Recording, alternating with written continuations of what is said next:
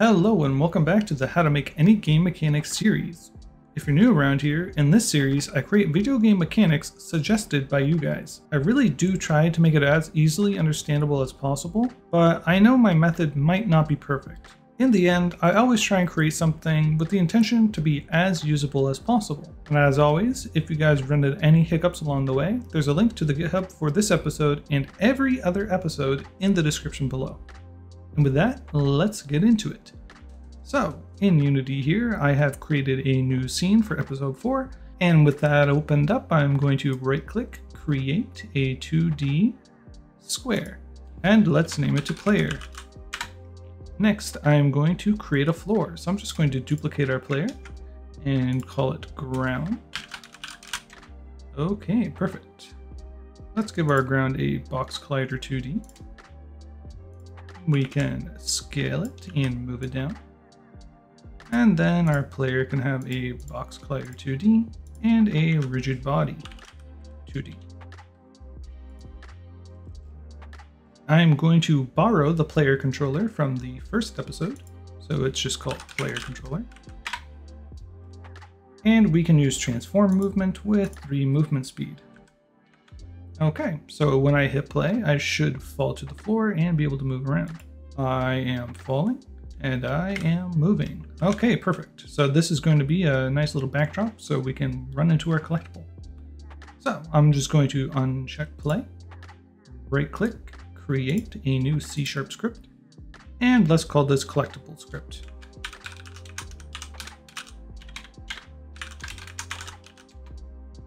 And let's just open this up in VS Code. Okay, in VS Code, let's come up here and make our first variable. Let's make a serialized field, private, and let's say int, and let's say coins. So we're going to be collecting coins in this demo. Now, usually there's two ways that you can do collectibles. You can make it so the player keeps track of the collectibles and all of that information for the collisions, or you can have the collectibles have all that information for the collisions. Generally speaking, it is better practice to keep the collectible information on the player. Now you might be scratching your head, maybe wondering why. Well, this is because if you have the collectible information on the collectibles themselves, you'll have every single collectible in your game running some sort of a script, which, you know, that's maybe not ideal. I think having one script on the player that keeps track of everything makes a little bit more sense. So let's get rid of start and update here because we won't be needing that. And let's make a on trigger enter. 2D I'm going to space this because that's how I like it. And let's say if other dot game object dot tag equals collectible. What we're going to do is we are going to say coins plus plus, which just means plus one. And then we are going to destroy the other dot game object. So the other dot game object in this case is going to be the coin that we're touching. So as long as it has a trigger, when we touch into it, it'll add one to the coins, and then it'll destroy the coin. Okay, let's head back into Unity. Back in Unity, let's click on our player, scroll down, and let's add the collectible script to it. And we can see that we have zero coins. So let's make the coin. Right click, create, 2D, and let's do a circle. And I'm just going to call this coin. I'm going to make it yellow. I'm going to scale it down a little bit because I just want it a little bit smaller. And I'm going to add a collectible tag. Collectible. Click on my coin and assign that collectible tag. Next, we're going to need a circle collider 2D and we have to make sure we check the is trigger checkbox. All right, let's move our coin downward so our player can actually interact with it. Let's click on our player, scroll down, and let's hit play. Our player falls, and we can move left and right, and let's walk into our coin.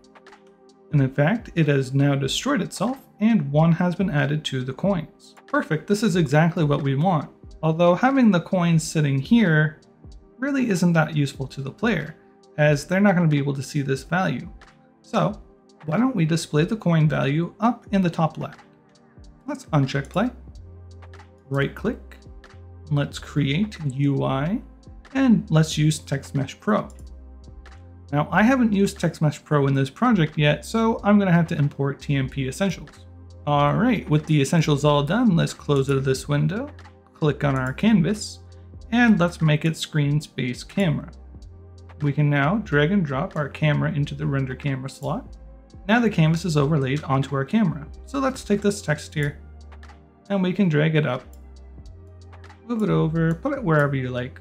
I'm going to use this rect transform over here, and just anchor it to the top left. Perfect. So now we have our text up here, and I'm just going to default it to say zero. Okay, perfect. You'll see TextMesh Pro has all these awesome options. You can stylize it however you want, but I'm just going to leave it as the default. Alright, let's go back into VS Code and go back into our collectible script.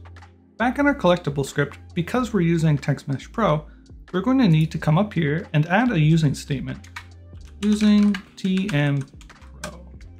Perfect. Now we can come below our coins and make another serialized field. Private text mesh pro do GUI. And let's call this coin display. All we're going to do is we're just going to drag in our text into this container. Now, when we collect a coin, after it gets destroyed, let's add one to our coin value. So coin display dot text equals coins dot to string. And all this is doing is just converting our integer into something that can actually be displayed. Let's go back into Unity and check it out. Back in Unity, let's click on our player, scroll down, and drag and drop our text into the text slot. Perfect. Now, let's hit play, and our text says 0, and when I walk into the coin, it now says 1. All is right in the world, all is perfect, we've just won the lottery, we're now rich, we have one coin, we're doing great. Okay, so we haven't really done anything with our coin, but in something like Mario, when they hit 99 coins, all they do is just give Mario an extra life. So you would have to communicate to some sort of player controller that you've now hit your 99 coins, reset it to zero, and just increase your life by one. Hopefully you can see the game applications to a method like this. And with that, this episode's complete. I hope you guys enjoyed the video. Leave a comment suggesting a game mechanic you guys would like to see me make. And as always, I'll see you next week.